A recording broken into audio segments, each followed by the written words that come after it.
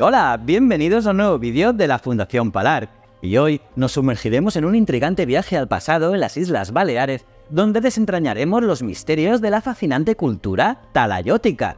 Y nos adentraremos en las nuevas hipótesis surgidas en torno a las emblemáticas taulas de Menorca. Así que preparaos, porque lo que os voy a contar puede que cambie por completo la forma en que veáis estas misteriosas construcciones. ¡Vamos allá!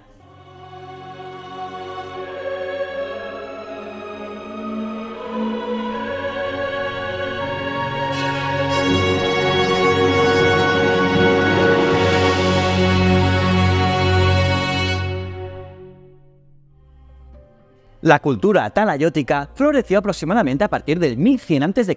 en Menorca y Mallorca. Cada una de estas islas mostró características distintivas en su desarrollo, lo que nos ha dejado un fascinante legado arqueológico para explorar. En esencia, era una sociedad basada en la agricultura y la ganadería, pero lo que verdaderamente llama la atención son sus impresionantes construcciones ciclópeas que son aquellas construcciones realizadas con enormes bloques de piedra sin labrar o muy escasamente trabajados, estas piedras que no están unidas con mortero y que a menudo se encuentran colocadas de forma que encajen las unas con las otras, aprovechando su forma irregular.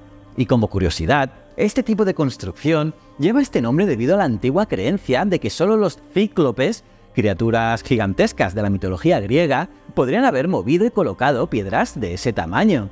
Pues bien, en Menorca, uno de los ejemplos de estas construcciones y uno de los rasgos más distintivos de la cultura talayótica son los recintos de Taula.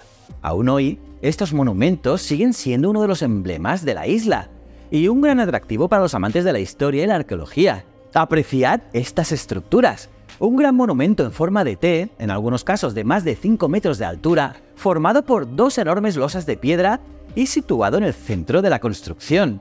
Y no solo eso, sino que también fueron sitios religiosos que estuvieron en uso durante el periodo talayótico final, que se ubica aproximadamente entre el 600 y 500 a.C. y el siglo I a.C. Pero no nos quedamos solo en la T. Estos recintos de taula son estructuras complejas que siguen un esquema constructivo muy pero que muy particular. Tienen una forma de herradura y una fachada ligeramente cóncava con una puerta de acceso en el centro, también hay una fogata a la derecha de la taula, mientras que a la izquierda, más atrás y empotrada en la pared del recinto, se suele encontrar una pilastra hecha con una gran losa de piedra. Y es aquí precisamente donde se han encontrado representaciones de divinidades en algunos recintos, como la figurita del dios egipcio Imhotep en Torre de Engalmés y una figurita de un toro, y también dos quemadores de sustancias aromáticas que representan a la diosa púnica Tanit en Torralba Salor. Por cierto, la primera mención escrita de una taula es del historiador Joan Benimelis en el siglo XVI, pero desde entonces muchos investigadores han aportado diversas hipótesis sobre su función y significado.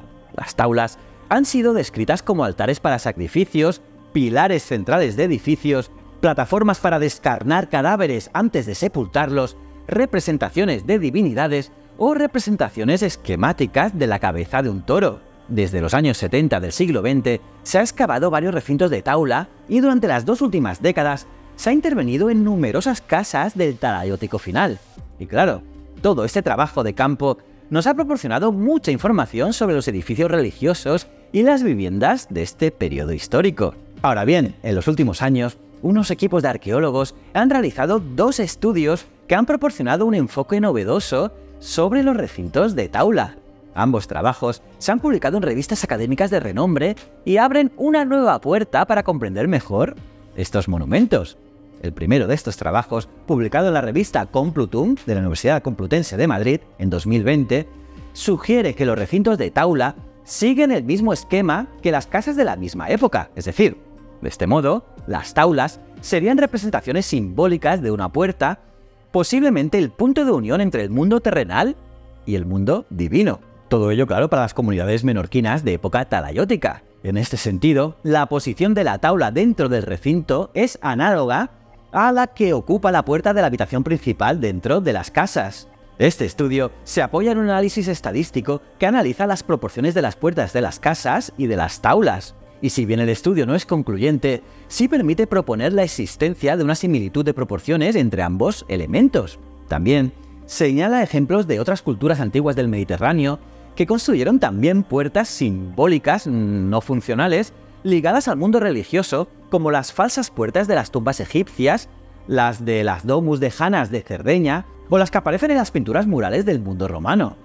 El segundo de los trabajos ha sido publicado recientemente en la revista Spal de la Universidad de Sevilla. Este artículo describe un fenómeno arqueoastronómico no detectado hasta ahora en el recinto de Taula Oeste del poblado de Sona Casana. Durante el solsticio de invierno, los rayos del sol entran dentro del edificio a través de una pequeña ventana, iluminando un lugar especial en el interior del recinto.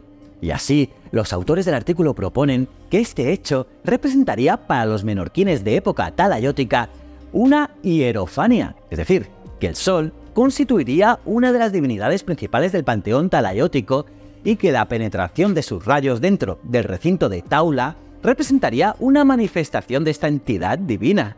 Está interesante, ¿eh? Pues bien, el análisis de este fenómeno se ha realizado mediante la técnica de la fotogrametría, creando un modelo 3D del recinto y utilizando luego este modelo para realizar simulaciones con el programa Stellarium 0.21.2 que permite calcular la ubicación de los astros en cualquier momento concreto a lo largo de los últimos milenios. Es flipante, ¿eh?